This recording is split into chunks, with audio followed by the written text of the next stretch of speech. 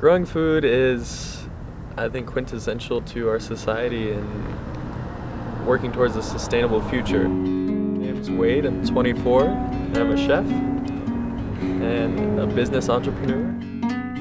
The idea of Food Karma started um, almost exactly a year ago, and we we started with nothing basically. We went out and we decided we were going to make this happen. So we started promoting ourselves through events. We went out on the streets and we started um, offering pies for donations.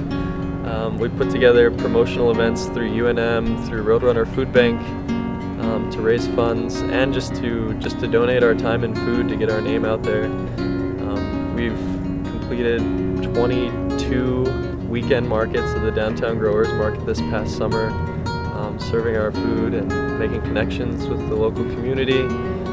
Um, and we're going to continue to do catering events and to do volunteer events um, to continue continue our mission as Food Karma. I mean, our mission with Food Karma is to give regardless of what we receive.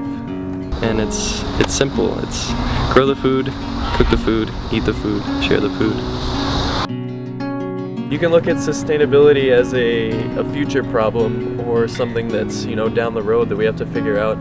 But if you think about it, you know, truly being sustainable means, you know, in this moment, taking care of everyone around us in our communities, taking care of everybody right now, because it's not just about trying to, um, you know, help future generations, but there's there's people in need right now. So what we try to do with Food Karma is have no judgments, and we try we try to give everyone the same opportunity to the food um, same opportunity to the nutrition, the food security.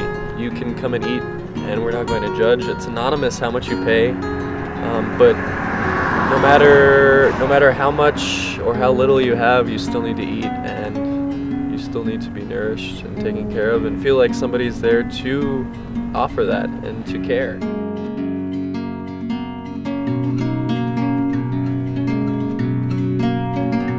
Johnny's Garden is a family farm. Um, it was started by my mother and my stepdad. Uh, it's in Albuquerque's South Valley. They produce um, tomatoes, uh, a lot of greens, corn.